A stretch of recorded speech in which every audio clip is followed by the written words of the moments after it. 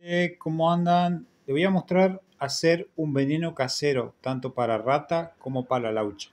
Vamos a necesitar eh, azúcar, también bicarbonato y vamos a necesitar harina de trigo. Ahí les muestro la mezcla que vamos a hacer. Bueno gente, vamos a agregar 5 cucharadas de harina. Las cucharas sopera, bueno, agreguen 5 cucharas. Después agregamos azúcar, 5 cucharadas sopera. Y una cucharada de bicarbonato. Cuando tengamos todo, mezclamos.